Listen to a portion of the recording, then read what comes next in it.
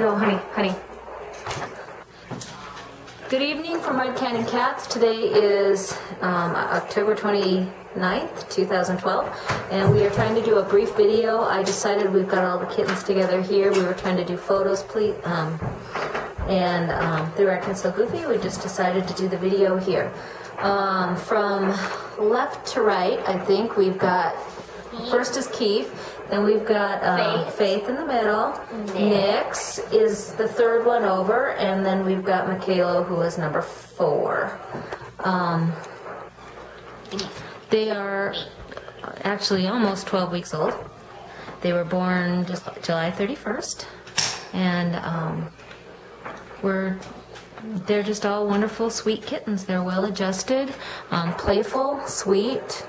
Um, a little bit of personality about each one, I guess. Um, starting with Keith at the end, he's he's he's the, probably the quietest of the bunch. Um, very sweet, very affectionate. Um, it's also the largest. Oh, by far the largest. He's he was a tank when he was born, and he continues to be a tank. Um, he's very heavy. I mean, if you're looking at him visually, they probably all all look the same. But you pick him up. There's mom, by the way. Hello, mom. It's Mom Reagan.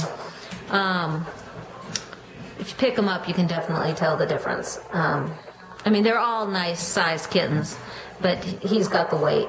Definitely has the weight behind him. Um, he's a kit. He's a lap kitten, and Grant, be careful. And um, just a sweet, sweet boy. And then we next we've got little Faith there, and um, she's our only girl out of the out of the four. Um, We haven't. we did. We were, we had a litter of five. Um, unfortunately, one of our little girls, she was a little Torby, beautiful little girl, died at um, about two weeks of age. Just shy of two weeks. Anyway, I'm hypnotizing them I can see that. Okay, Faith is. She's like she's very sweet, very affectionate. Probably, I would I would say probably the most independent of the four. I would also say the most fluffiest. Oh, she definitely a fluff. She's got the fluff factor. Very much got the fluff factor, which is good for a Norwegian forest cat. Let's try to keep him up there. Um, hi, and there she goes. Um, she's probably a little more independent. Her and Michaelo, um, the, one right the big one next, this one right here. Um, those two are like we have like two sets of twins here. Michaelo and Faith are one set of twins, and um, then we've got Keith and Nix who are our other twins. They're not identical, but it's more a figure of their patterns are so much alike that when they were really little, it was kind of hard to tell them apart. We can now. Um, but anyway, Faith and Michaela are, I, I still, uh, they're very close. If she's close to anybody, it would be Michaela. Um, but on the other hand, she's also very independent. You'll often find the boys together, and you'll often find um, Faith off doing her own thing. Um, but she's but she's sweet and affectionate. She'll sit on your lap. She loves to be held. Um, but she's also good by herself, which is um, a good thing. Um, very sweet. I would say. at Keith. um, I would say that um, next to Keith, she'd be the next more quiet one. She's, but she's very playful, and you'll often find her she, running around being a crazy little girl.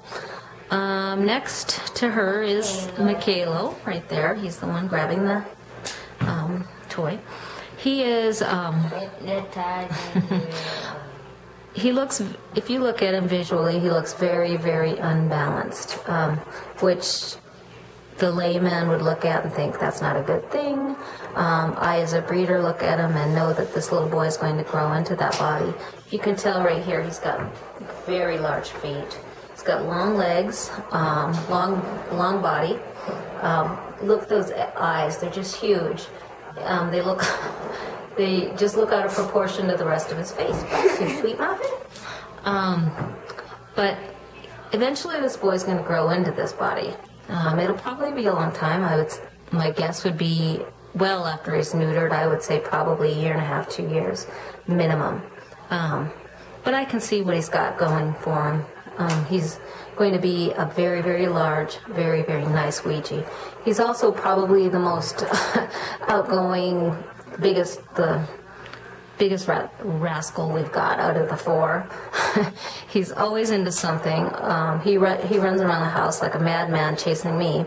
Um, his favorite place in the whole wide world is to be on my on top of my shoulders, and his method of getting up there is by um, Using your pants as a ladder. yeah, when he was when he was littler, he would start at the bottom of my pant leg and, and climb up until he got to the top, and well, until he got till I picked him up, and and then he would la- then he would lay on my shoulder.